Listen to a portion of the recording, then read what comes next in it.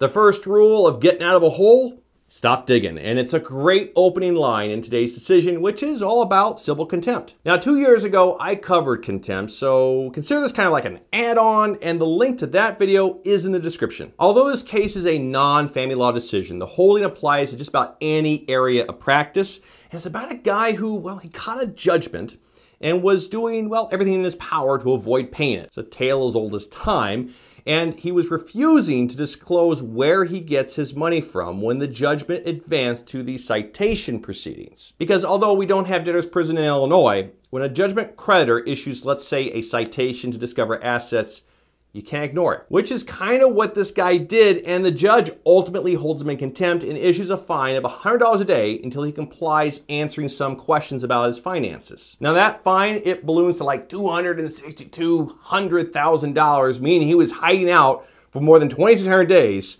The creditor ultimately loses their patience and they ask the judge to just incarcerate the guy until he pays that huge fine, which the court grants. Now, a month or two later, Cops pick him up on a routine traffic stop and toss the debtor in jail, where he has a come to Jesus moment. No way! Actually, no. He just files an expedited appeal saying, hey, you can't do that on television.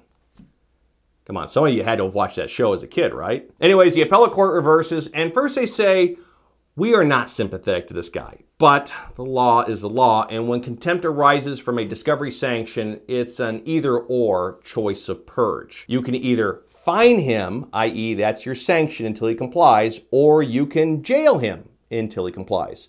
But you can't do a sanction on a sanction. And additionally, the appellate court briefly, very briefly, suggested even if you could, this amount was just so shockingly high that it might be de facto uncompliable, which is required when the contempt proceeding falls under civil. So for an interesting example, if this were a case of unpaid child support and the purge was like $262,000, well, the suggestion is that that too might not survive on appeal. Food for thought. Regardless, it is reversed, and they tell the judge that next time, just lock him up until he complies with the outstanding citation, because when it comes to purges, you can't have your fine and jail him too. Anyways, that's all I have. If you like today's video, there's a cheap and easy way to show your appreciation, but never feel obligated.